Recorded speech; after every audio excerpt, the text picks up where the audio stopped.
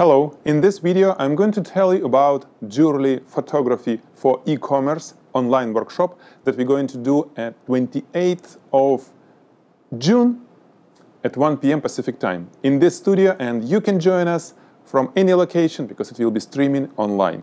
What will be covered in this webinar? I'm Alex Koloskov, the founder of Photigy School of Photography. This is an online workshop, meaning that you will watch it online, you will have a chat to ask questions that I'm going to answer in real time right here in the studio. However, if you won't be able to join the workshop for some reason, you will have ability to watch it later and download recorded video as well. It will be included in the package. What we are going to do? We're going to shoot a few rings and earrings on a white background. The idea of the workshop is to show you how to work with jewelry on a white background with minimum post-production for e-commerce for online placement. Etsy, Amazon, your online store if you have such or for your clients, right? And I will show you how to do this with minimum post-production. What is included? The full three hour, up to three hours, maybe more, workshop uh, here where I'll be shooting and doing a focus stacking. So focus stacking is covered. I'll do it in Adobe Photoshop, and this is something that, uh, well, all of you should have, right, the Photoshop. What I'll be using will be the camera, the macro lens, the simplest possible light modifiers, nice and fancy. I'll be using diffusers like you see behind me, uh, two diffusers, diffusers like this, and a few pieces of cardboard as reflectors. This is it, nothing special. I will show you how to do all these images in real time with this equipment, a few strobes. However, if you don't have strobes, uh, continuous light will work the same way. Exactly the same shooting technique, uh, the only difference is your camera exposure. Who this workshop is for?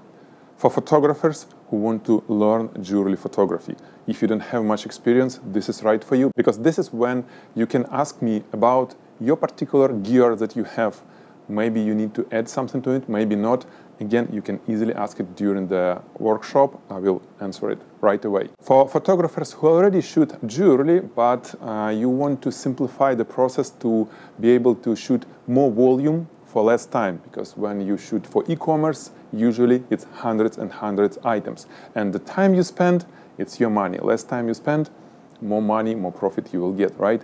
And on this workshop, I will show you how to do this efficiently. It will be some awesome tricks that uh, will make your life way, way easier. And it definitely will work for jewelry makers and sellers who has some little micro studio or have dedicated person uh, in their crew uh, who is shooting uh, jewelry for you. Uh, it will definitely will help them uh, to do a better job. We will have the whole course jewelry photography for e-commerce with way more products to shoot, way more different techniques uh, with post-production, but it will be later. It will be released uh, about two weeks later.